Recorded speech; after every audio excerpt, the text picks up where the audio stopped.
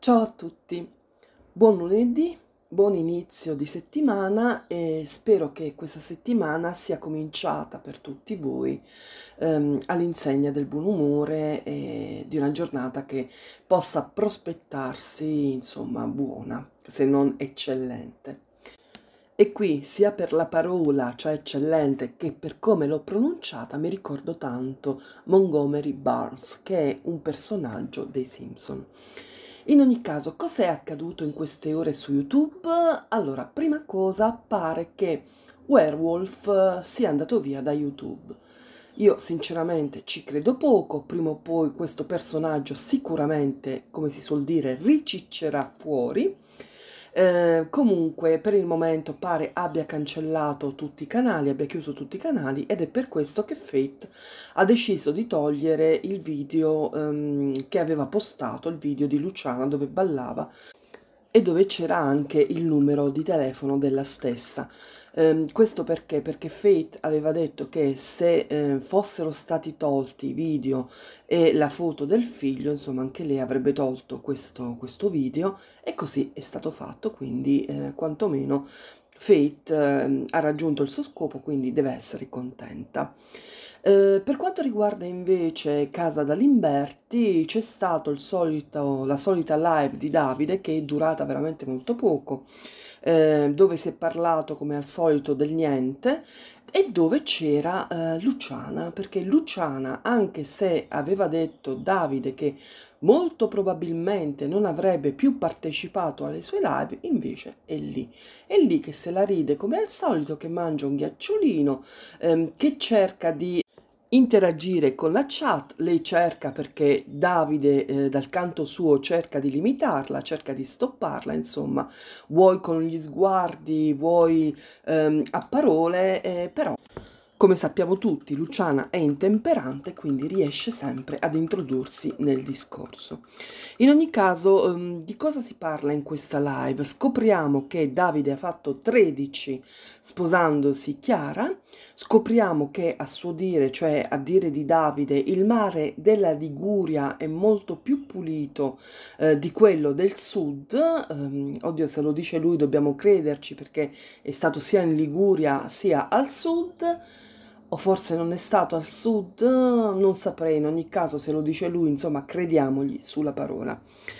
E, ehm, cosa succede in questa live? Succede che come al solito, come già ho detto all'inizio, parla del niente e a un certo punto però, ehm, anche se ci aveva detto che la moglie stava eh, dormendo perché aveva eh, male, essendo insomma il suo periodo del mese, a un certo punto si sente un ciabattio, lui si volge a guardare insomma verso questo ciabattio, dopodiché eh, dice che è arrivato il momento di chiudere la live, quindi saluti e baci e chiudiamo lì anche se si stava parlando.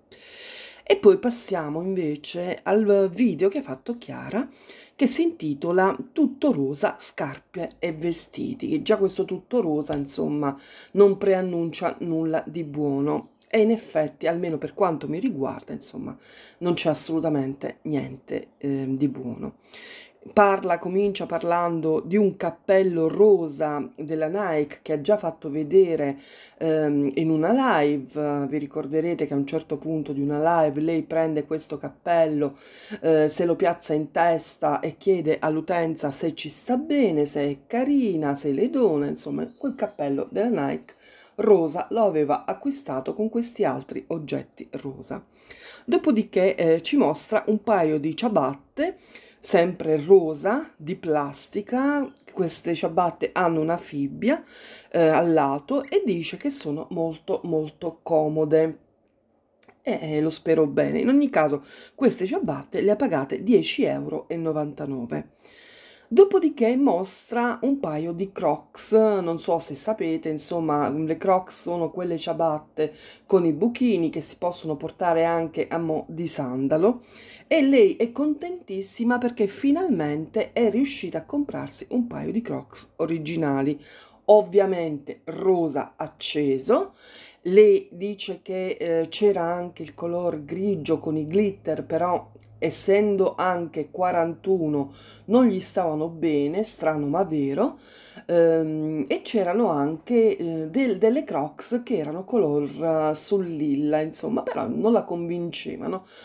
L'hanno convinta invece queste crocs eh, rosa acceso e se l'è portata a casa al modico prezzo di 23 euro perché erano scontate.